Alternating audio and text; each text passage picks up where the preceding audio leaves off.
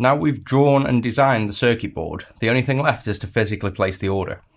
So in order to order circuit boards with factories, you need to convert your PCB drawing from whichever software you're using into an industry standard so that factories can produce the board. The standard is a Gerber file, uh, as well as an NC drill file that is for the specific holes in the board, the drill holes. Uh, but generally, the Gerbers contain the NC drill files. It depends on your software. But they're the two formats you have to create in order to send this to a factory for production. So we're going to go ahead and show you now how I create the Gerber files in Altium. And in EasyEDA, it's simply a one-click button. So I'll show you that as well. We'll then place the order for the circuit board with a factory. And then once it arrives, we'll solder it up and test that everything's okay. So let's just jump in now and have a look at how we create Gerber files, view Gerber files, and place an order. So now we have the circuit board designed, it's time to make the production ready files so that we can order the circuit board. Those are called Gerber files, and in Altium, we just have to right click on the project, add new to project, and click output job file. This will make a new window like this, uh, with everything blank here, and we can make many more things, such as 3D prints, assembly drawings, bill of materials, Right now, the only thing we care about, however, is Gerber files and drill files. So if we just click the Add New Fabrication Output, click Gerber file and PCB document, it will make a new instance in here. If we double click that, we set this up to millimeters and 4 colon 4, that's my preference.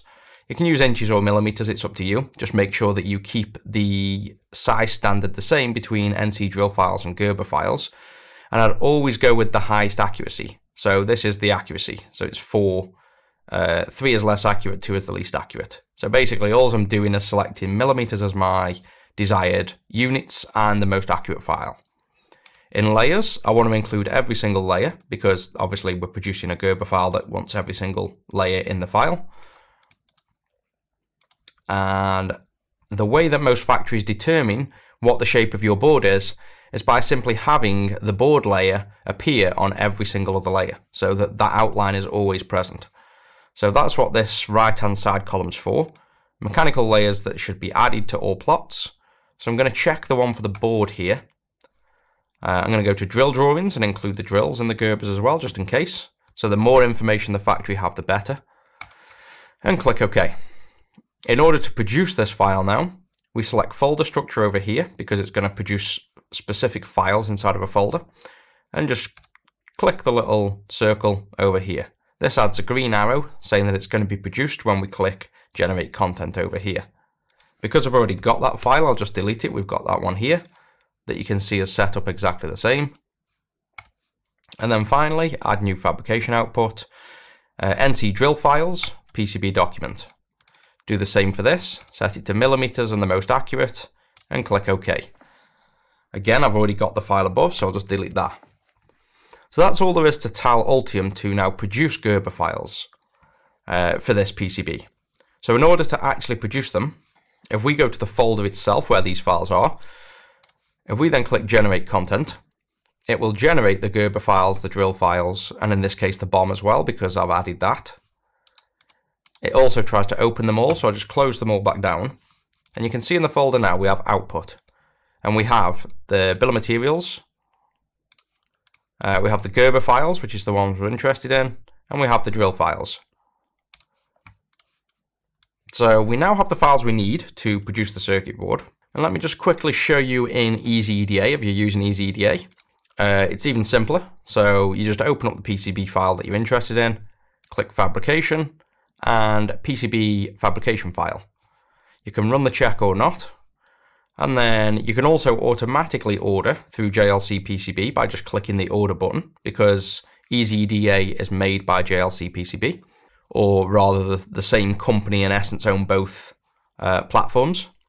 Or you can just click generate Gerber here, which will download a zip file containing the same Gerber files that we've just seen.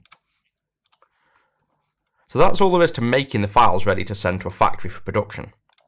So we can go ahead and zip up the Gerber and NC drill files and create what I then like to see as my release files.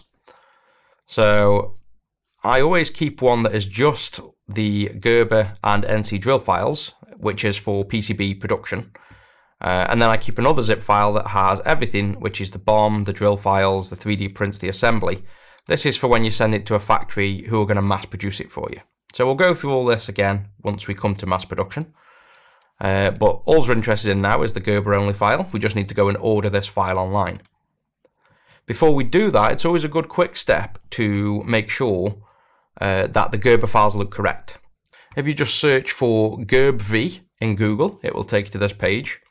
You can click download to download the Gerber file. And then if you open up GerbV, click the blue plus at the bottom left. And in that Gerber file that we generated, if we select all the files that start with .g at the end, you can then click open. It will open up uh, a visual representation of what you're about to produce with the factory, which should look the same as your actual file in Altium or EasyEDA. You can see you can also check each layer as well individually, so you can uncheck certain layers and take a look at different parts of the design on its own. You don't necessarily need to understand all these layers. It's just important that the design looks correct and looks like what you're about to produce before you upload it for production. So now we have the file ready, I'm going to use JLC PCB to produce these files for us. Uh, most people use either JLC PCB or PCBWay. Uh, I've never really used PCBWay, I've only ever used JLC. They seem to do a good job and I'm happy with them, so that's where I kind of stay. Uh, all you have to do on the homepage is click Add Gerber File. We'll upload the Gerber file that we produced, the zip file. And then in a moment you should see a preview image of the circuit board. Sometimes this preview doesn't show the holes correctly. That's about the only thing I notice doesn't work right sometimes in their preview. Uh, but all these designs are looked over by actual engineers, so PCB uh, factory engineers. Uh, they know what they're on about. They do contact you if there's any doubt or any questions about the design. It's not just a generic upload your file and hope for the best. This is a you know professional service. So don't worry too much if the design doesn't look quite right, like the holes missing here. If it looked completely different or everything was green all around, there's a sign that you're missing something. So the board shape should show correctly like this, but the holes sometimes are missing. All these options here, don't worry yourself too much about them. Uh, you'll use these over time, but for now, we want to know how many do we want, uh, the thickness of the board, and how long it's going to produce, uh, how long it's going to take to produce. So you can see at the minute it's a one to two day production. It's going to cost $6. Now, quantity 5 is fine for us, it's just a quick prototype. Uh, thickness, however, because this is a flexible circuit board, when we finally come to produce it, this will want to be uh, flexible PCB, not rigid. So we'll go with the thinnest rigid board of 0.4mm, which will help give us the best possible fit um, in the board to test the prototype works. It's still going to be too thick for production, hence why we'll use flexible circuit board, which is about 0.18mm thick. But for now, 0.4 gives us that ability to be close enough and still rapid produce the circuit board at a cheap cost. You can see the time's gone up to three days now, and the price has gone up to $50 from six. Uh, that's mainly because the surface finish has had to be improved to ENIG. ENIG is electroless nickel immersion gold plating, which basically means that the circuit board is treated electrically with nickel and then gold. Uh, so the surface finish ends up with the gold finish you expect on all circuit boards that you see. Uh, that cost here is $17. If we were to go back to 1.6 mil thick and HASL, you'll see there's no surface finish. As soon as you add ENIG, the surface finish cost goes on. HASL is just tin and lead, so it just looks like you've soldered onto the board and it's not a very good finish. Um, but that's what that is. PCB color we don't care about for a prototype. Silkscreen is the emulsion over the top, the writing. Um, in this case, it's white, which is fine again. Copper weight we don't care about until you get into designing battery chargers, power management ICs, things that you know require a lot of heat dissipation. That's when I'd go to thicker copper. Gold fingers are things like PCB PCBi boards where they insert into another connector. So the copper itself is directly connecting to another part of a board. In that case, when they make gold fingers, they make the adhesion much stronger. Uh, tests, all these aren't really important. Castellated holes are holes at the edge of the board that are plated all the way around. Again, something we don't need right now. So none of these options you really care about.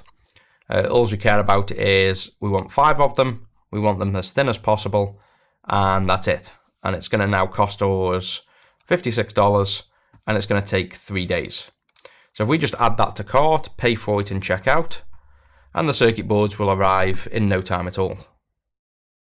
And through the magics of video editing, we now have the circuit board here in record time.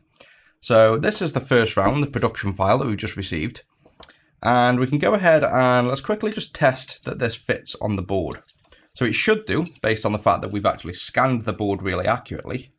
And it does look like it's fitting pretty well. So everything seems to line up, the holes here, the holes here, looking at the power connectors. It all seems to be pretty well aligned. So I guess the next step then is to build this up and test it works.